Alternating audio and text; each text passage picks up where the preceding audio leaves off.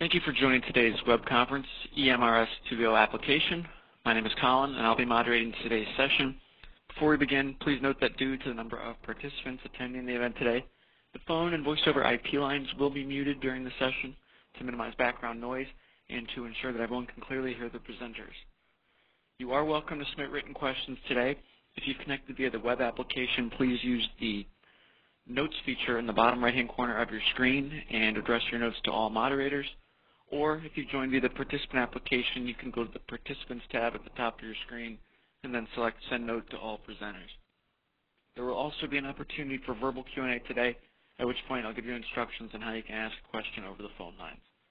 And lastly, if at any time you experience technical difficulties, please feel free to send a note to me, and that would be the ATT CES operator. And with that, I would now like to formally begin today's conference and introduce Liz Clark. Good morning, everybody. I'm Liz Clark. I'm a training specialist at uh, Plum Island Animal Disease Center with the Professional Development Services Branch, and I'm really pleased to be hosting this webinar today on the new EMRS to Go application. Our speaker today is Dr. Brian Archer. Dr. Archer received a Bachelor of Science in Agriculture from Kansas State University in 1997 and received a Doctor of Veterinary Medicine degree from Kansas State in 1999. He has worked for USDA, APHIS, Veterinary Services since 1997 in various locations as a field veterinary medical officer. Nationally, Dr. Archer has been extensively involved in a number of animal disease emergencies, including low-path AI, BSE response, exotic Newcastle, as well as avian influenza surveillance in Washington state. He was also detailed to the HPAI 2015-2016 serving in California, Washington state, Kansas, and Minnesota. He serves as a member of one of the USDA five national incident management teams. And currently, Dr. Archer is an emergency management response system staff specialist with USDA APHIS, VS, Surveillance, Preparedness and Response Services, National Preparedness and Incident Coordination. Dr. Archer serves primarily to support EMRS use in Districts 4 and 5 and provides incident support nationwide. I'll now turn the webinar over to Dr. Archer. Good morning, everybody, and thank you for spending a little bit of your Thursday morning with me to learn about our, our new EMRS to Go mobile app. Um, the way the presentation is going to work this morning is I'm going to go a little bit through a PowerPoint, and then I'm going to leave the PowerPoint about midway and, and jump into the application itself and show you how, you, how a field operator, field operator, excuse me, would complete it and then upload the information into EMRS. Um, basically, what the new EMRS to Go mobile application does is it provides a very easy, very simple way for somebody in the field to directly input information and then upload that into EMRS without any further data entry required. Um, it's been tested in, in the field and has worked very well in places such as the New World Screwworm, Screwworm Incident and um, was greatly valued by the field staff there once they had it as well as the, the IMT that was helping them um, we've used it in a few other applications, and it's gone very, very well, and we're very excited for its, for its release, hopefully in the not-too-distant future. As far as our side goes, on the EMRS team, we have the EMRS to Go mobile application finished and ready for release, um, but we are currently waiting on permission from our IT group uh, to finish their review and then allow us to release it. So, so like I said, we're kind of ready to go. We're just waiting for permission to release it, and I'm not sure when that will happen just yet. It's kind of out of our control, um, but we're anxiously awaiting that, that permission. So with that, I'm going to jump right into the mobile application uh, presentation, and we'll go through it, like I said, a little bit, then we'll jump into the app itself, and I'll show you how it can be completed in the field. What this application is going to do is it will allow FADDs and others, such as AHTs or, or other field investigators doing door-to-door -door surveillance during an HPAI event or whatever, but they'll be able to use the application to enter information for a animal disease investigation or whatever the situation may be. Information is collected and entered directly into a tablet, a laptop, or a PC that has the app downloaded. It must be on a Windows-based system, so the Apple iOS is, is not supported. Um, but on any Windows-based system, it can be done. Information can be entered offline without any internet-type connection, and then once the user has access to internet, they can then upload that information later in the day uh, into the system. Therefore, it does not require any duplicate data entry. Basically, the user enters the information as they go, and then once they're ready to upload it, it shoots it into the system, and the system further processes it into all the various forms within EMRS. And I'll talk about that a little bit later in the presentation.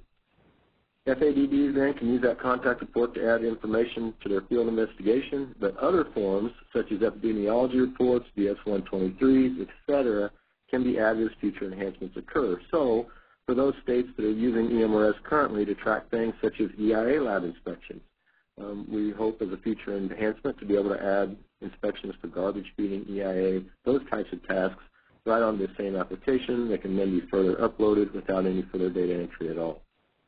This application will also create forms for the user, such as a completed 10-4. So once the FADD enters all the information for an FAD investigation, at the end they can click this little button called the Forms button, select a 10-4, and have a pre-printed, I'm sorry, a pre-completed 10-4 ready, 10-4 form ready for them right there. And I'll show you that as we go through this.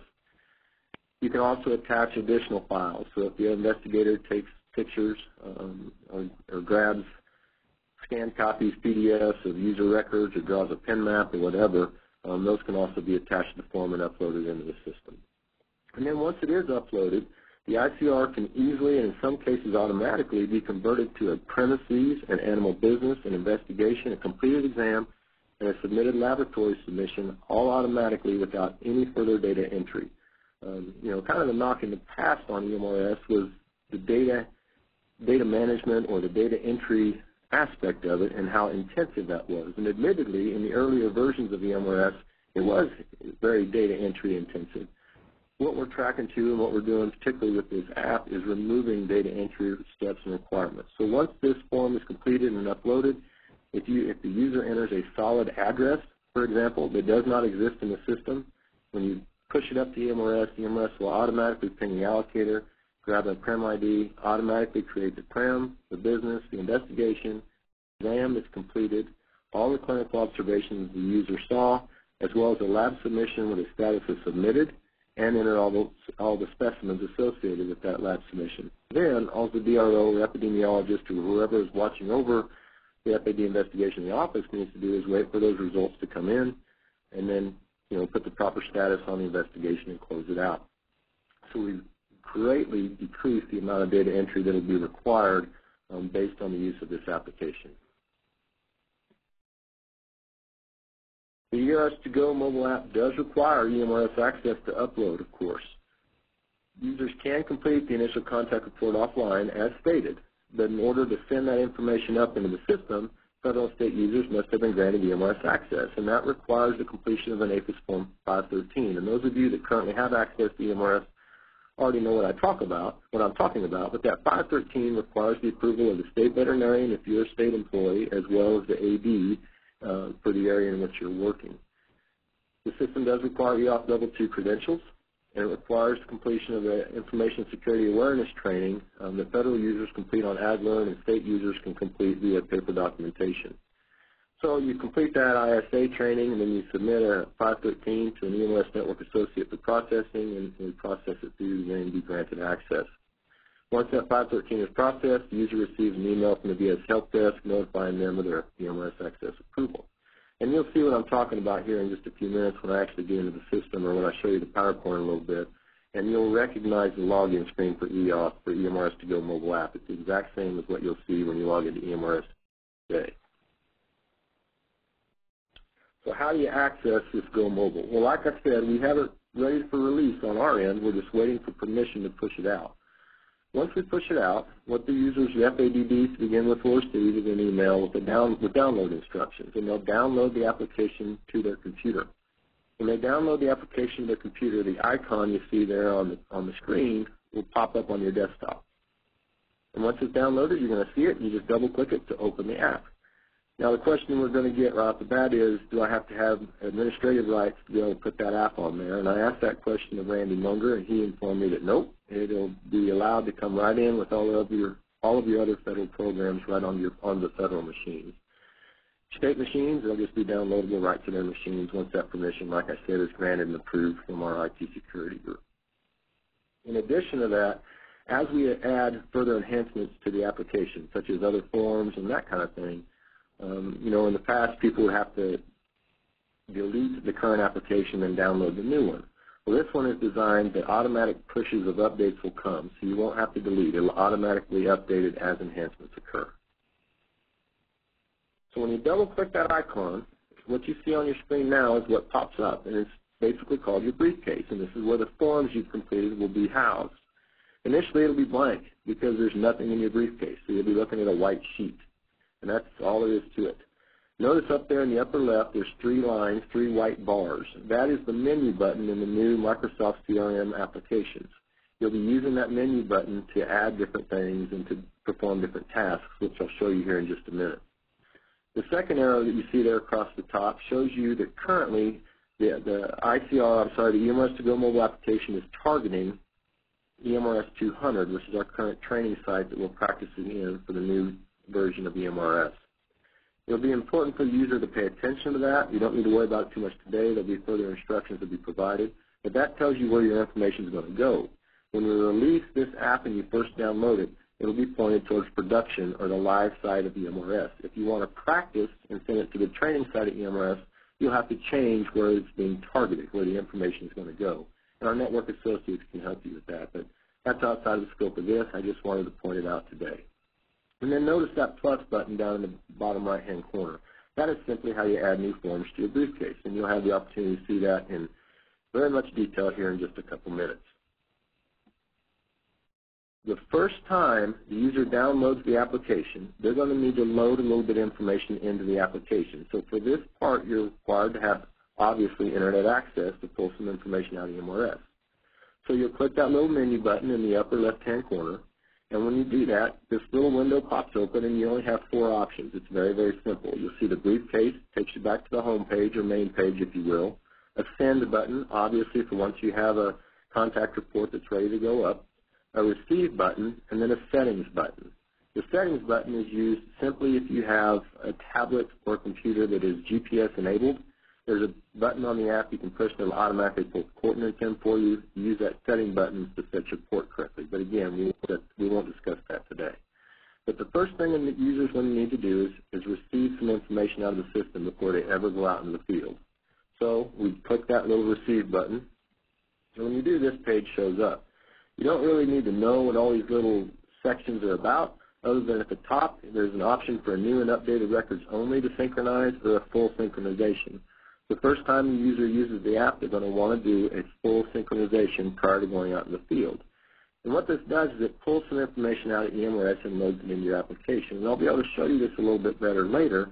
But for example, when I select that I'm in the, working in the state of Kansas as my incident site, and then I select an investigator on the next list of drop-downs, by selecting Kansas, the next drop-down then limits itself to only those investigators in Kansas. And then alternatively, if I move to Oklahoma to assist them with something and I change my incident site to Oklahoma, when I the, select the drop-down for investigators, the only investigators I'll see are those that are currently in Oklahoma. So you have to pre-populate that type of information into the app first. That's what we're doing here.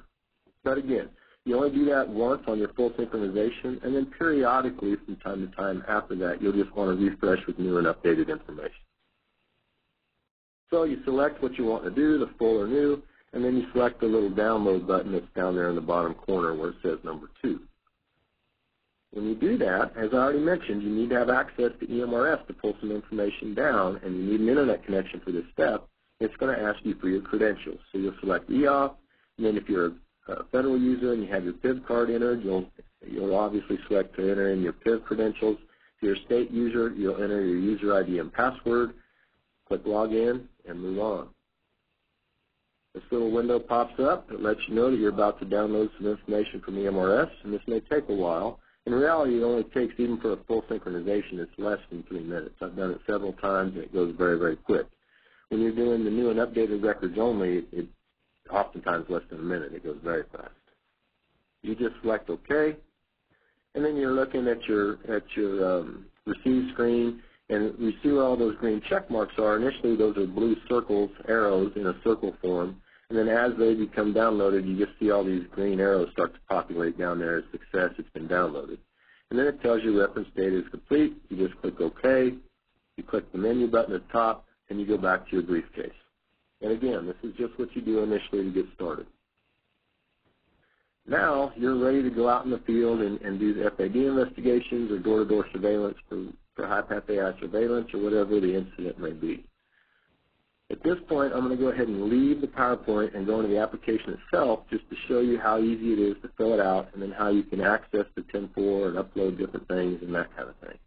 But I do want you to know that this PowerPoint does go on and it shows step-by-step -step instructions as all the things I'm going to demo for you live in the actual application. And this PowerPoint is going to be made available in the EMRS and the training materials, um, as well as some other training documents for EMRS to go that we'll discuss at the end of the end of the presentation. So bear with me just a minute. I'm going to leave this PowerPoint. And I'm going to go right into the to-go application. So you should all be looking now at my briefcase. And you'll notice here at the bottom of my screen, there is, and I don't know if you can see my mouse or not, but you can see down there at the bottom of my screen a little briefcase. That is my EMRS to go app, and that's what will be on the user's desktop. So they will double click that, that application, I'm sorry, that, yeah, that application icon, and when you do, this is what opens up. And initially, it's empty. There's nothing in your briefcase. And as I've already mentioned, you have the menu icon in the upper left, and you have that plus button to add forms to the briefcase in the bottom right. I'm going to go ahead and click on the menu icon and show you those four little options we discussed already. And then just so you know, first time you ever use it, you must have internet access and EMRS access. You click receive, and here we go. If I want to do full synchronization, I'd select it, and then I would select the download arrow, and away we would go. Everything that you see queued there would become a blue circle, and then as they're downloaded, it would be a green check. You just need to wait for that to complete. It would take about three to four minutes. Once it's done, I just go back here to my briefcase. Now my app is loaded and I'm ready to go do work in the field. From this point on, I no longer need internet access. So I'm now out in the field and I've received information to do an FAD investigation in Kansas. And we're going to, so I'm going to enter data for a fictitious FAD investigation that I've been called out on to do. So how am I going to go forward with doing that? Well, I just double click my icon, open up my briefcase, select the plus button, and I get the option. Which, which of the following options do I want to do? Obviously right now there's just one, and that's our contact report for field investigations. And as I mentioned earlier in the PowerPoint, um, in the future we're going to have such things such as tasks for entering EIA lab inspections, garbage feeding inspections, um, BS-123s, those types of things as future enhancements occur. But as stated, we just have the one option, so I'm going to open up my contact report. And the form opens up. Now it's very, very simple to go forward. And, and the reason you had to do the initial receive and download of information is that 99% of the fields you're going to see in the next several pages are drop-downs to allow for quick and easy data entry as well as consistency. Well, you had to load those drop-down or lookup options onto your machine. And so again, that's why that reference data had to be loaded first. But you see the very first option we have is what incident, and it's required field. Why are you doing this investigation? So you select the drop down and you see our current instance that we have in EMRS that you might be working in. Obviously, for this one, I've already indicated that we're going to be doing an FAD investigation, uh, on our fictitious investigation here for this presentation. So I'm going to select FAD. What is the reason? Obviously, for FAD investigations, these are usually complaints. So I'm going to select complaint. And what is my investigation type? What is the primary reason that I'm out there? I'm going to say that this one was a vesicular skin of muzzle and feet FAD investigation that I'm being called out on. What is my initial, initial classification? A lot of times when you're initially going out, it's undetermined. You're not sure. But if you have a high suspicion, intermediate, or low from the start, you can enter that here. And then, of course, we always, for FAD investigations, have to enter a FAD referral control number. So I'm just going to make one up, enter it in. What's my exam reason? Is this a follow-up or sick call? Obviously on FAD investigations, initially they're a sick call. And what's my source? Diagnostic lab, practitioner, producer, or some other source. We'll say that practitioner called this in. The state defaults to Kansas for me because EMRS remembers a little bit once you've been in the system and it'll start to pre-populate some of these for you, but you can always change them but it defaulted to Kansas since I've used it before. So I'm going to go ahead and select Kansas. Now note that when I selected Kansas, I can select an investigator, and these investigators that are listed are people that are in the state of Kansas. If I change my state to Kentucky, now the only investigators I see are people that are in Kentucky. Again, part of the preloading that you did before you left. So I'm going to go back to Kansas. and we're going to assign Dr. Cody Garton to do this work. Date visited obviously is required.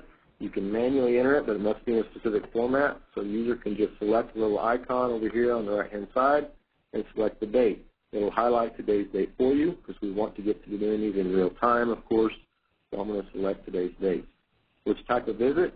Obviously, again, for FAD investigations, these are usually an initial visit. So if we're doing backyard surveillance for HPI or whatever, it may be a second round visit for backyard or third round visit or whatever the case may be. I'm going to select initial here. Oops, excuse me. Now, quarantine date and quarantine number. These two are not required fields, but if I put a quarantine on the premises, I can go ahead and enter that and put in the quarantine number. And that's important because when we upload this into EMRS, if I complete these two fields, the system will automatically put a quarantine status on the premises, I'm sorry, on the investigation in EMRS when it's uploaded. I'm going to go ahead and leave these two blank for now. When you have the fields completed, you just click the arrow to go to the next section of the ICR. If you know the premises ID, you can enter it here. And when I click outside of this line then, the rest of this page is pretty much going to be filled in for me. It'll put in the prem name, the address, the coordinates, et cetera, et cetera, et cetera. For an FAD investigation on an initial visit, usually you don't know the prem ID, and that's perfectly okay. So I'm going to pretend like this is a normal FAD, and I don't. This premises does not have a prem ID. We've never visited it before. So prem name, we're going to name this Brian Archer's Ranch. We could type any type of prem description that we would like to here, uh, if it's a commercial operation, you know, or, or whatever it may be.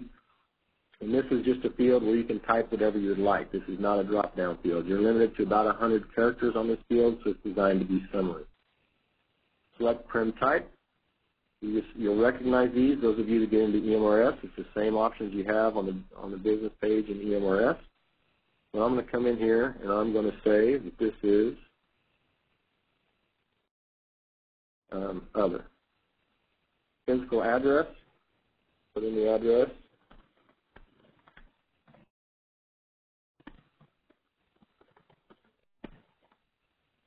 Five hundred East North Ave in McPherson, Kansas. Incident site is Kansas, and the prem state is Kansas, and the zip code, of course, is required and must be entered. Now, this is where we need to have a, just take a break and just talk a little bit about these addresses. We need to really get in the habit of talking to our field staff and ensuring that they enter an accurate address for the location in which they're doing the investigation. And the reason for that is if we have a solid address, when it goes up into EMRS and it pings the allocator and it's a good solid address, it'll further process and create all those forms I mentioned before. It'll create a prem, it'll create a business, the investigation, the exam, the lab sub, etc. If there's not a good address, or there's a misspelling in the address or whatever it may be, It'll still go up in the EMRS and will basically be parked as an ICR and require the epidemiologist or the DRO or whoever the coordinator is, and that may be the FADD, to then go in, fix the address or, or fix the correction, or request an exception or whatever, and then further process it manually, which again isn't a big deal. It's a couple clicks. But if we ensure we have a good solid address here that's a 911-based address for where the investigation is being conducted, um, it'll go through without any further data entry or further processing required. When you scroll on down, you see the Use GPS button. Again, this is what I was getting to on that Settings button we saw on the initial menu. Um, if you set it, if, your if your machine, your tablet, whatever, is equipped with GPS, and you set it to the right port, you can just click this button, and your prem latitude and longitude will automatically pop in there um, based on your machine's capabilities. If you don't have it, that's okay. You can use a handheld GPS unit or your phone or whatever to grab your coordinates and just hand enter them right here. So I'm going to go ahead and do that now.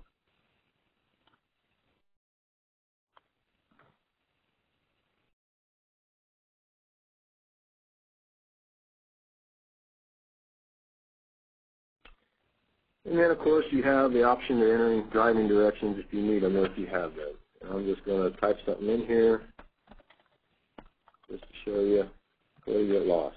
Okay, so you can enter in some directions into the page. So now we've captured just a little bit about the prem. We go to the next page. Now we're ready to capture information about the animals. Are susceptible species for the incident selected found on the prem? Obviously, for an FAD investigation we're being called out, the answer is yes. But if we're doing backyard door-to-door surveillance and we selected HPAI 2017 as our estimate at the start, and we're knocking on doors and there's no birds present, we can select no and then move on and we're basically done with the form. That's very important when we're doing backyard surveillance because you know when you're trying to determine how many susceptible species are in, in an area for epidemiological reasons, this type of information is, is valid and important, and we can also easily put it up on a map. Um, so you'd select no and move on, and, and we'd be done. But in our case for this example, obviously it's yes, there's going to be susceptible species. And so now you see additional fields pop up for you to complete. What are the estimated number of, species? I'm going to say that I've got 35. I'm not a backyard producer. This is a cow-calf operation. My primary species group, obviously then, is going to be bovine. And now, are there clinical signs present? Yes or no? And again, this is important for doing backyard surveillance. If there are birds present, for example, there's no clinical signs present, we collect no and we bang through and we're basically done with the form unless we collected samples. But obviously here there are clinical signs or else we wouldn't have been called out. So now we have a couple additional fields to complete. Well, what's the most prevalent clinical sign? And in this one we're going to say that blisters or vesicles is the most prevalent sign. That's the reason why it was called out. What's the estimated onset? We'll say that the practitioner called us today, this morning. We don't really have any other information about onset.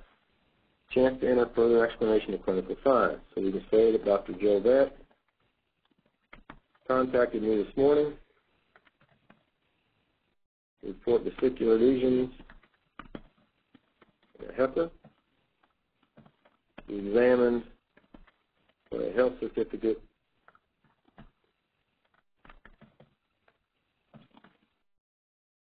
she is headed to a show this weekend. Okay? You can type as much as you want for the lines are allowed. Um, and I say as much as you want. I think it's limited to 500 characters right now, um, but we are going to work on getting that a little bit longer so you can type a, a novel if you want here. But right now it's limited to about 500 characters. So you got the information initially. You just hit next. Here's your prem contact. Brian Archer is the guy's name. Put in his phone number. And if you have an email, you can enter it in as well. Move on to the next piece. We'll do mortality census. You see a little lab button up here in the upper right. You can click on it. Species, when you click on it for a drop down, cattle comes up to the top because that was my primary species already selected. I'm going to say there's one sick, none dead, 34 unaffected. And then we'll also add another group because we've got some uh, 4-H pigs on the prem. I'm going to come down here and select a different species. fine, zero sick, zero dead, and I've got four of them, four gilts there for my kids for 4-H. If I had sheep, goats, whatever else, horses, I could continue to add additional species. What's my primary disease differential that I'm worried about? It's and mouth disease. And I think this is unlikely. Okay? So now, you, know, you can enter your confidence now, you can enter it later as we go through and start entering clinical science here in just a minute. I'm going to go ahead and move on. And I can now look at samples that were collected. So I can come back here and add a sample now. Initially it's blank, but I want to add my first sample. Select my subject type on my drop-down. Is this an individually identified animal, animals without ID, groups of animals that are identified by lot or whatever, or just groups of animals? Obviously, for this one, I'm looking at an individual heifer, so she's going to be individually identified. What's my identifier? I'll put in her ear tag number. And then what is that identifier type? Is it an official ear tag, a tattoo, et cetera, et cetera, et cetera? I'm going to select official ear tag. If we were doing something like backyard chickens, my primary identifier may be backyard chickens. And my identifier type then would be name, you know, if they weren't identified or whatever it may be specimen identifiers. These are specimen numbers, our sample numbers that are on our tubes. I'm going to enter in a barcode number. I'm going to go ahead and enter in four of them. One, two, three, four. One, two, three, five. One, two, three, six. And AO1237. For this first one, AO1234, we'll say that this is serum. The second one, we're going to say that we've got EDTA. and the third one we'll say is heparin. And this last one here, we're going to say is an oral swab.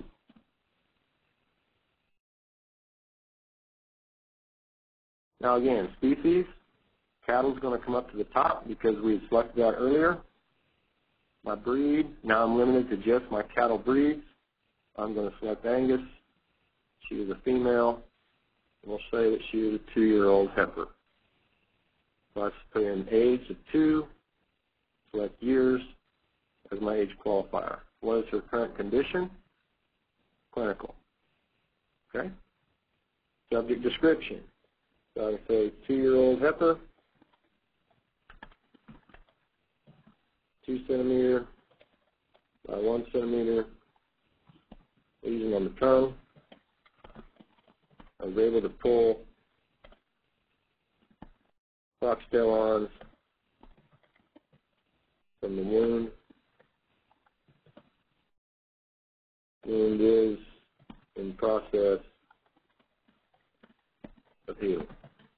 Because there were some fibrin tags or some whatever you want to say around the edge of it. Now I've got my first sample ready to go almost. I've got to enter in the number of the group that I sampled for this particular sample. There's only one in this group, and I sampled that one animal. So if this was backyard chickens and there were 10 and I only sampled 5 of them, then obviously the number group would be 10, number sampled would be 5 for this particular sample. So here it's one for one. Clinical onset, after looking at it, I think this has been going on for a while. After talking to the owner, he first noticed something going on a couple of days ago. So I'm going to go ahead and back it up a little bit, but I'm unsure. What's my clinical sign? These look more like erosions to me than they do blisters or vesicles, so I enter in the clinical sign. If I had additional clinical signs, up to three for this animal, I could go ahead and select them and enter them in here. When I'm done, I can just hit save. And here's our information for the sample I just collected. If I had additional animal, animals I sampled, I would simply collect the Add Sample button and continue to add them. If I decided I entered something incorrectly here and needed to go back and edit it or delete this sample because I just screwed up, I could just hit the little ellipses button here and I have the option to edit it to come back in and edit the form and open it. When I'm done editing, I can just hit save. Or if I decided I screwed up and I want to get rid of it, I could just delete it, which obviously I'm not going to do. So I'd add the samples I needed to add, and now I'm ready to move on.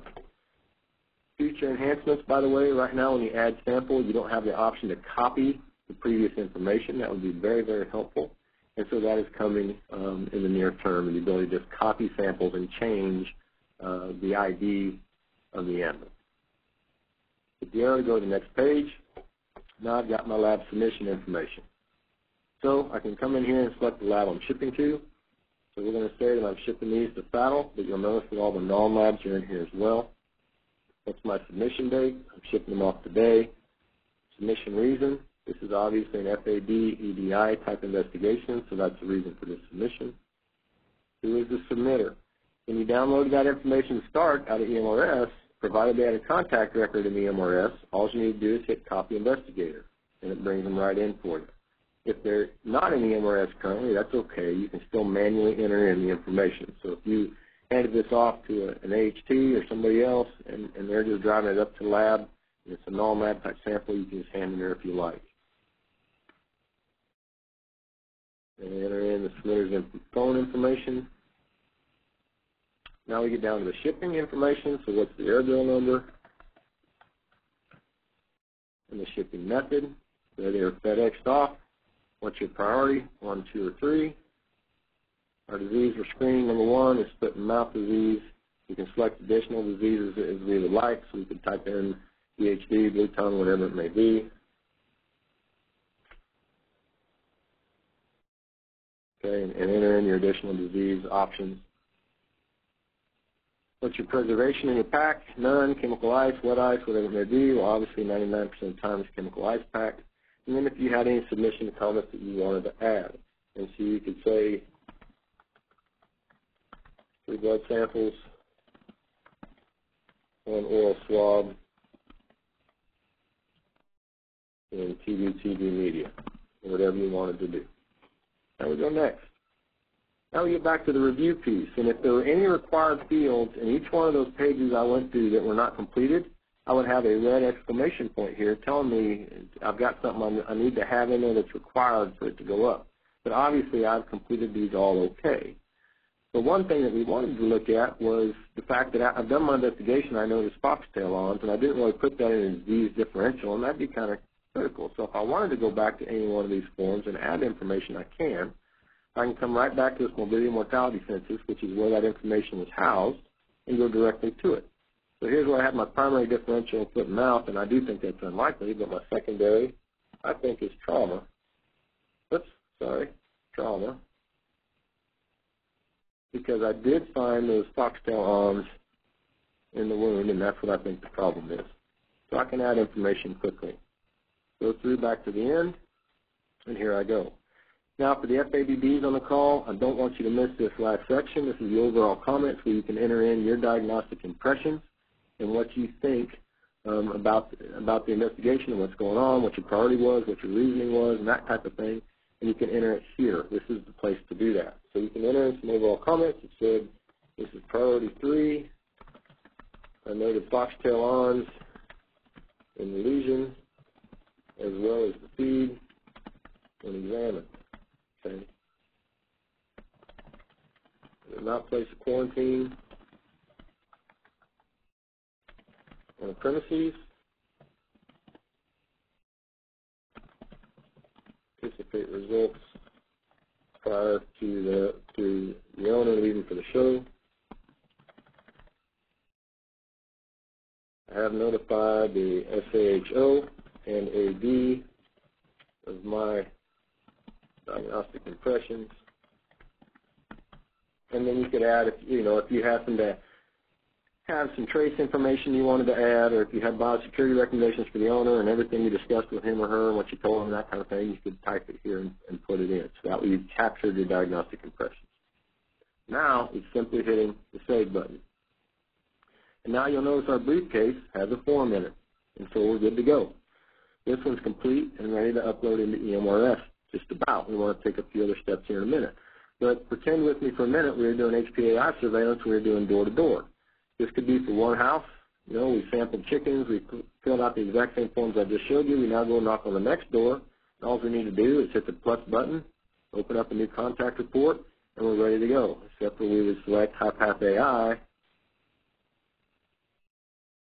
and fill it out for a HiPath AI investigation if we're doing door-to-door -door backyard surveillance or whatever. I'm not going to complete one for that purpose, just wanted to kind of give you an idea. So at the end of the day, you may have a list of 10 or 16 or whatever different forms here. You can also, when you're filling out those forms, if you knock on a door and nobody's home and you need to come back, you can get it started and put it in as the address you're at and that kind of thing, and then just leave the required fields blank, um, and then come back to them the next day and see if you can catch somebody at a different time. Hit the edit button that you see here to open that form up, and then continue to complete the form once you catch somebody at home. But we're going to move on now. What I want to do is show you how to create a completed 10-4 out of the information that was just put into the application. So you click on the Forms button, and you can see we have two forms in here. One is a generic avian influenza specimen submission form. The other, obviously, is a VS-10-4. So sticking with our FAD investigation, we're going to select that VS-10-4.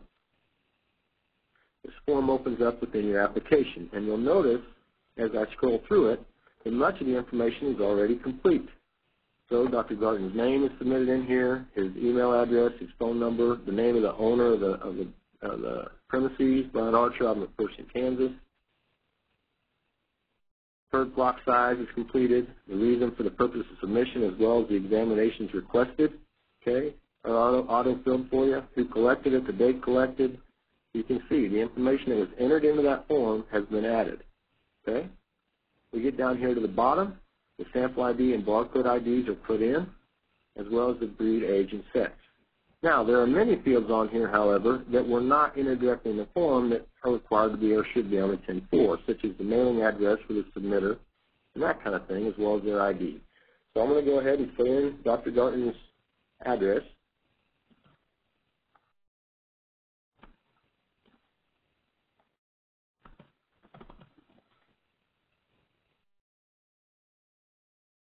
Okay? I'm going to make up a submitter ID form.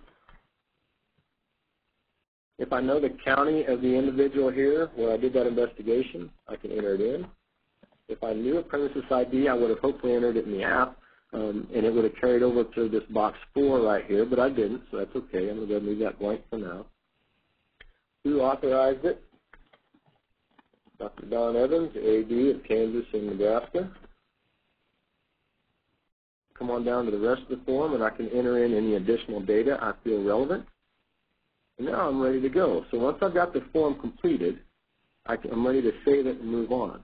But here's what's really neat about this. These fields that I just completed, the mailing address, the submitter ID, the, the authorized by, all that stuff is going to is going to automatically save in the background. So next time I come in here and I open up this 10.4, the fields that are completed in the app are going to be populated just as you saw when I first opened it, and the fields I just now completed are going to be remembered and they're going to be auto-saved in here. I can always edit them and change them, but I'm not going to have to fill those out again. I only have to fill them out the first time. Now that I've got my form ready, I do need to save it, however. So I'm going to export it as a PDF by clicking the button here at the top. I'll save it on my hard drive.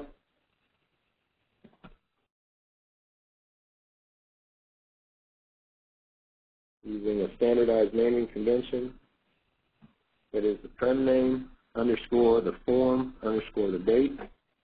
When I save it to my hard drive of my computer or my tablet, I now have a VS104 that is completed and filled out, and all I need to do is print it and throw it in my shipping box. So, um, I haven't mentioned this yet, but there are at in Fort Collins, Dr. Randy Munger is the one that, that oversees them and is responsible for keeping them updated. We have 38 tablets, Toughbook tablets, ready to go with this application on it. And with each one of those, he sends out a Bluetooth printer. And it's a really cool little printer. It's, it's very it's only a couple inches wide by about 11 inches long, uh, a couple two by two by 11, I think, or something like that. Um, don't require any wires or anything. They're battery powered. And so sitting right there in your pr- truck, you can just file print this to that printer, load a piece of paper into it, and you immediately have your 10-4 printed right there in your truck. So all you got to do is sign it, throw it in the box. So now that this is completed and done, I need to go back to my briefcase, hit the option, come back to my briefcase. Now I'm right back here to my form. If I took digital photographs, or whatever the situation may be, if I have additional uh, documents the producer gave me and I scanned them or used an app on my phone and took a picture of them to convert them to a PDF or whatever and, and just moved them over onto, onto this tablet or whatever it may be, and I wanted to attach those to this, all you got to do is click the attachments button. And notice that that 10.4 I created is already attached. So that 10.4 is going to automatically go into, up into EMRS for me, and I'm not going to have to do anything else with it. If I wanted to add additional pictures or PDFs or whatever, all I got to do is click the plus button, navigate to those items on my computer.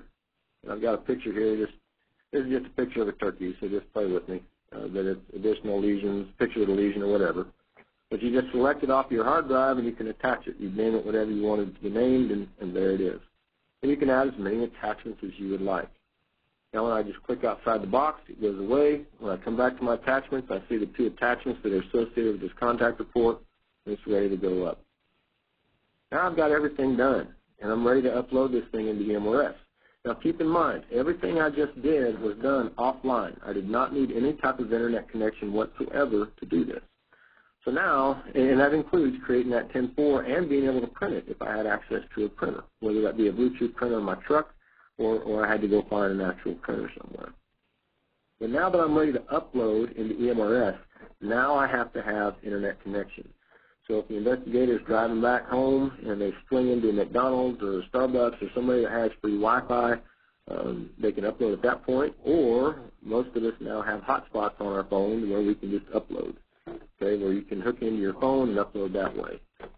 So when you're ready to upload a document into the system, you come back here to your main menu, and now we're going to use the Send button.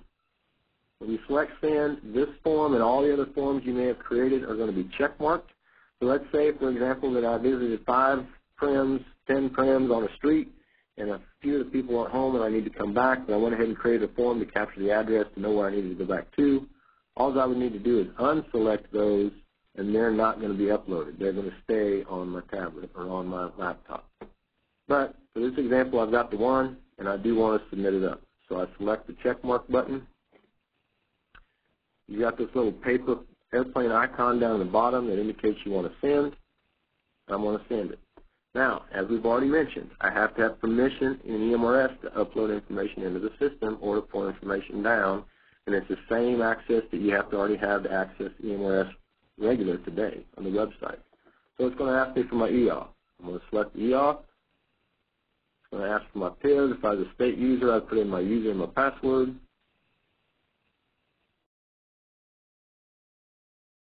Enter my PIV information.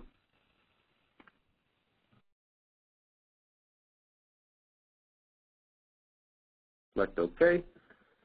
Once it verifies that I have permission to access EMRS, it's going to start to upload that investigation, and here it goes. Oh, and I had a I had an issue, and it's because of the building I'm in, and my Wi-Fi is not quite working very well. So don't worry about that. But it disappears and goes on up into the system, and away we go. And now it's ready for further processing in the EMRS. I've been testing this extensively lately, and I've had as many as 20 different prems, um, 20 different ICRs loaded onto the app, onto the app, and some of them quite extensive. Several of them were backyard surveillance where nobody's home, but some of them were like well, I did an EIA deal where I had to bleed 12 horses and I had samples from all the horses, et cetera, et cetera, et cetera. And, and even when I had as many as 20 prems, it uploaded within 60 seconds, all of it, very quickly within the system. So that's basically it. It is very, very simple to use, and it can um, be done very, very quickly. So when I come back to my briefcase, once you get the hang, hang of it and entering these in as drop downs, uh, field investigator can go through it quite fast, fill out the information, and upload. And again, when I hit that send button and it disappears and it all goes into EMRS, provided I've entered in a good address, okay, EMRS will automatically create a premises business investigation exam, completed exam, complete with the samples, I'm sorry, complete with the clinical observations, as well as a lab submission complete with the specimens, if I put on a quarantine, it will create a quarantine status, as well as the animals or animal groups I, I sampled. It'll put them in as animals or animal groups on the business, and it'll create the morbidity and mortality census based on the animals I entered. Um, very, very quickly and very, very easily. So we've basically taken the data entry, put it in drop downs in this application in a very easy to complete form, and allowed it to go up into the system, just boom, boom, boom, boom, uh, automatically after that. So the next question is, as far as training, how do you get additional training for your field staff on how to do this? Well, I really think that once they have the option, uh, the ability to do it once or twice, you're going to see that it's not that hard. It's pretty simple. But I'm in Fort Collins this week, and we're working with our EMS network associates here, and they were all given this PowerPoint presentation yesterday, as well as some other training documents, as well as had the opportunity to actually use the tablets and to fill out the, the, the contact form I just showed you themselves. They're now equipped to go back out and go back home, and you're more than welcome to reach out to them for face-to-face trainings or additional webinar-based training or Skype-based trainings to show you how to do it. In addition to that, at the conclusion of this call, I'll go load into EMRS and the training materials. I'll create a folder called EMRS to go. Actually, I think I'll put it under the Disease Management Toolkit. And I will attach both this uh, PowerPoint I showed you earlier as well as a couple other training documents. So you will see those there as well one thing I want to be sure to get across is a lot of folks seem to have it in their mind that they have to do this on a tablet because we have these, you know, 20, 38 tablets or whatever here in Fort Collins we ship out to use in the field during an incident. You do not have to have a tablet to do this. I just showed you the entire application using my laptop, and it works very, very well on a laptop. Um, and, and so you don't have to have a tablet to do it, is what I'm trying to say. And in fact, the tablet works great but if you're typing some comments and those types of things for your overall diagnostic impressions, quite frankly, it's easier to use a little laptop that's got a keyboard on it. And so as we move forward, I kind of hope that we kind of transition to this idea of using these two-in-one type laptop, uh, tablet type uh, things that are out there to allow a user to put snap a keyboard on real quick if they want and type or, or whatever it may be. Um, but you can use tablets today. The other question I get all the time are phones. You know, can I do this on my phone? And right now the capability is not there to do it on a phone. Um, that may come in the future. But as you saw, there's a lot of fields to fill out here and that kind of thing. And I think personally on a tiny little phone screen, that would kind of be a pain. Uh, so I think, in my opinion, the tablet or a laptop type modality is going to be the best option. Um, so keep that in mind. And past that, just be looking in the future when we get permission to release this thing um, FADDs uh, will get probably through the ADs and state vets um, a download link, like I mentioned at the start, and just download the application to your computer or your tablet. And like I said, that icon will show up. You're ready to go. You'll open it up. You'll have an internet connection. You'll first do a receive to download the background data, and then you're ready to go. And with that, I'm pretty much done with my presentation, and I'm ready to answer any questions. All right, just a quick reminder for those online, if you've connected via the web application, you can type in a question by using the notes feature on the bottom right corner of your screen. Or if you've joined via the participant application, you can go to participants at the top of your screen and then select send note to all presenters. And to ask your question over the phone line, you can do so by pressing pound two, and you will be notified once your line is unmuted. Okay, we have some written questions, Brian. Um, let's run through those first. Um, someone wrote in, can you split samples and send to two different laboratories easily? That is a great question, and we've received that a lot. The answer right now is no. There's not an easy way to do it to have them both created. Now, there is obviously a quick workaround.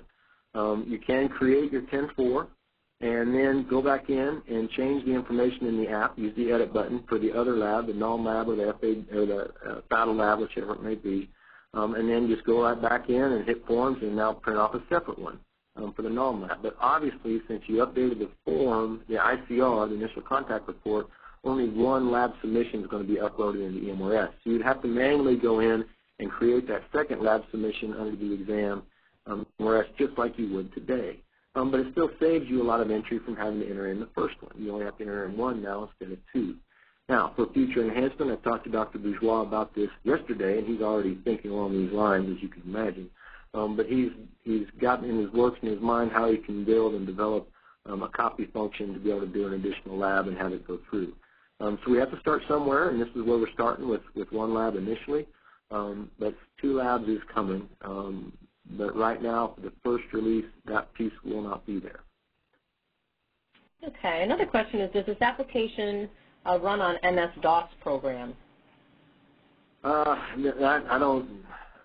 It's a Microsoft-based application. Um, much more than that, you're outside of my wheelhouse. I'd have to defer that to Randy Munger um, at Fort Collins. Um, so somebody, you can email me, remind me um, send me an email who's asking that question, and I'll be happy to find out the answer to that to you. But I, I, I don't know how the thing is built. I'm just I'm a user and I'm a tester, so I'd have to defer to somebody else with more knowledge than I. Okay. The next question is, will the barcode labels generated on the 10-4 form be able to be printed also to attach to the samples? That's a great question. Um, possibly for a future enhancement, but right now the way that's being envisioned and designed is that you get the barcode stickers, you know, the rolls that we've been able to get in different kits and that kind of thing. Um, and you just put your stickers on your tubes and enter in the barcode number that you put um, as your sample ID. It, it, the ability right now is not to enter, hand enter those barcode numbers and, and create stickers and print stickers is what I'm trying to say. You use existing barcodes that you have. Okay. And the other question was, when the EMRS to Go app is available, it's going to be available for laptops, and then the question is, how would you request the application? You would go through your, um, your AD. Um, we will receive all FADDs. Or I don't. I'm not exactly sure how Randy's going to push it out just yet. My my expectation is that he'll push it out to the ADs and the state vets, and they'll be then asked to forward the link on to their FADDs um, that are doing FAD investigations. Now, obviously, we have many FADDs that work in NIES and those types of things that may not use the application on a day-to-day basis and may not need it unless there's an incident or an outbreak. Um, so initially, I think the release is just going to be pushed out to those that have the need to do it. But when we get into situations where we're doing backyard door-to-door and those types of things, um, then we can just make the access available um, to that download at that time. But as I said, that's all kind of being held up right now because our IT security is, is determining um, the best way to handle those types of things, and so we're just waiting, waiting on permission to release.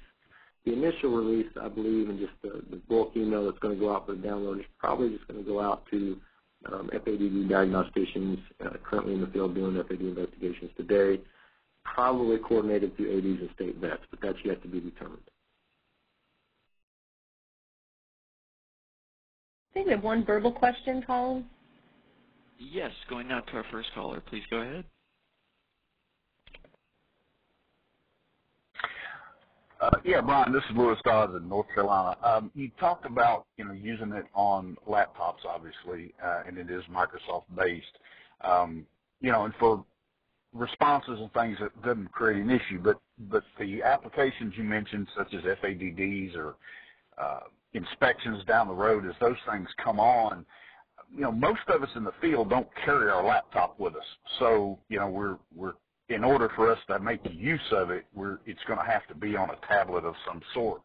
And over the last couple of years, that movement from IT has been toward uh, Apple-based equipment. You know, I, I, obviously iPhones, but also the iPads that we've been issued. Um, is there any look at, at trying to to revise this or, or adapt it down the road for use on iPads or maybe some discussion with the IT people to try to get everybody on the same page so that they could look at potentially some Microsoft-based tablets. Again, I'm, I'm, we've had those in the past. It was an epic fail, so they went away from those. But uh, you know, just curious about. I mean, the enhancements and the revisions for data entry are, are great, but you know, if we if we can't use it out in the field just because we don't have it with us, it's you know not going to be as useful. Thanks. Right. So hi, Lewis. Uh, first of all, it's good to hear from you. Um, second, yeah, that's a great question, and, and, and let me address that just a little bit. The reason it's working on a Microsoft platform is that we use Microsoft CRM for the EMRS platform, it talks very, very well together um, going back and forth. And, and, and a lot of folks don't realize this, but Microsoft CRM is an off-the-shelf product that Fred has, has tailored for animal disease-specific emergencies and response. And the reality is that, you know, Microsoft CRM is used by Best Buy and Polaris and Barclays and all these major companies, and it's got a lot of capabilities to it. And so there's a lot of reasons why uh, Microsoft CRM is a great one to use because it's, it's going to be around, it's going to stay around, it gets a lot of support, um, and that kind of thing. Um, and so that's one of the reasons why we use Microsoft CRM. As far as working on the iOS application, um, according to Dr. Munger, the answer to that is no. It will not. It will not work with the iOS application because it is a Microsoft-based application. Um, and then so that then moves into your next piece about you know using laptops in the field or not using laptops in the field. My personal, and this is just Brian Archer speaking, so this is my own little soapbox, and there's no official uh, weight behind it at all.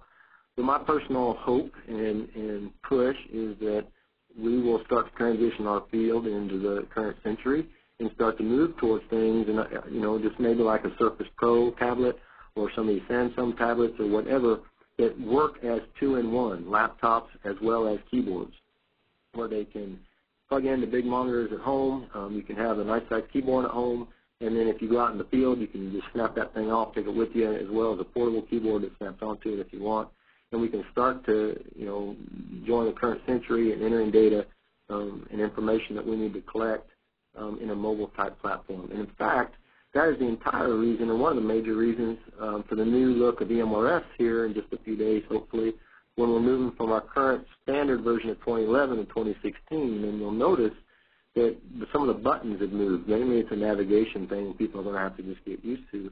But the idea with the whole Microsoft 2016 uh, applications and the, and the, new look is so that people can do things on touchscreens um, wherever they're standing. And so uh, you're right um, that you know currently it may be a little bit difficult for folks to take things out in the field, such as their laptop.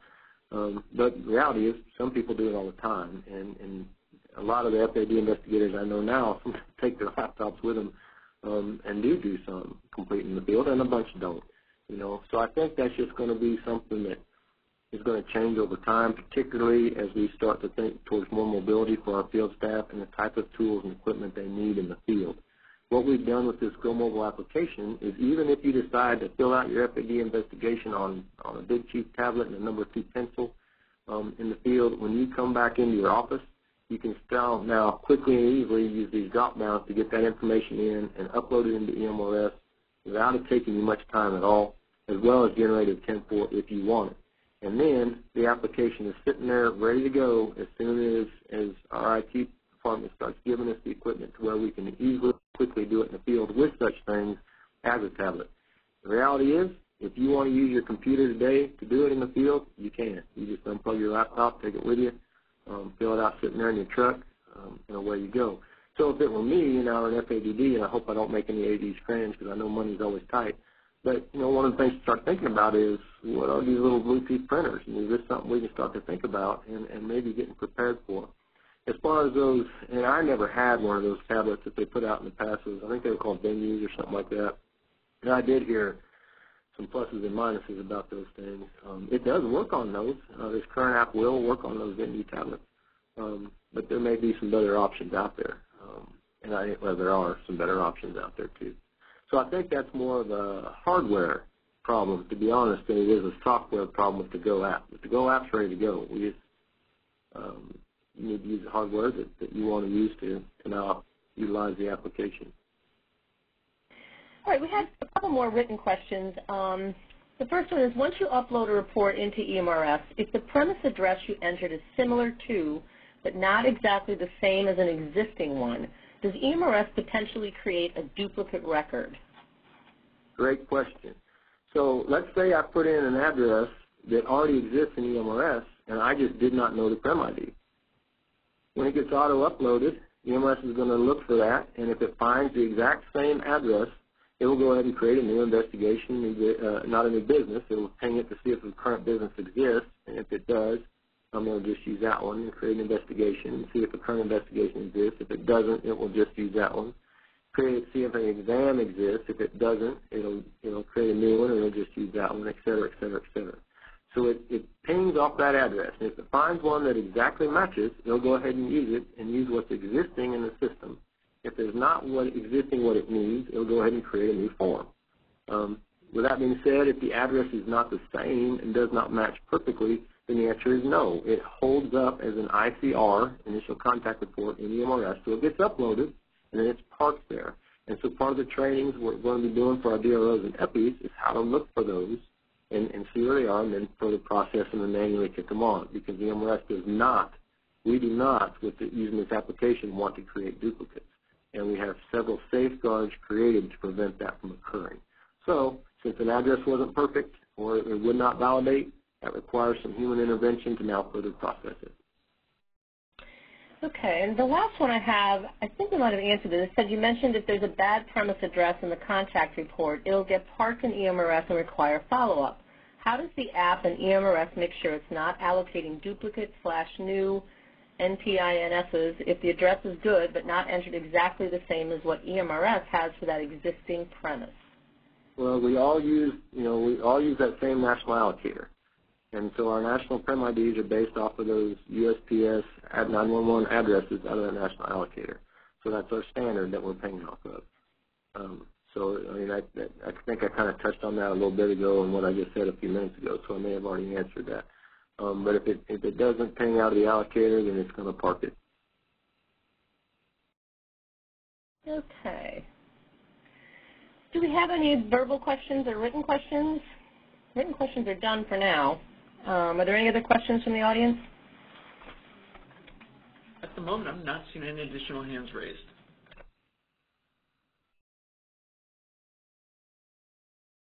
Okay. Well, we're at the little bit over top of the hour. Um, I think we'll just go ahead. There's other, if there's other questions, please, uh, you can forward those questions to Brian or to myself. We're both in the APHIS book. Um, and I just want to thank everybody. Um, we had a grand total of, I think, about 288 people on here today, so that was great. Um, we do have another webinar coming up on Thursday, September 21st at 1 p.m. Eastern Standard Time with Dr. Ken Takeshita from the California Department of Food and Agriculture.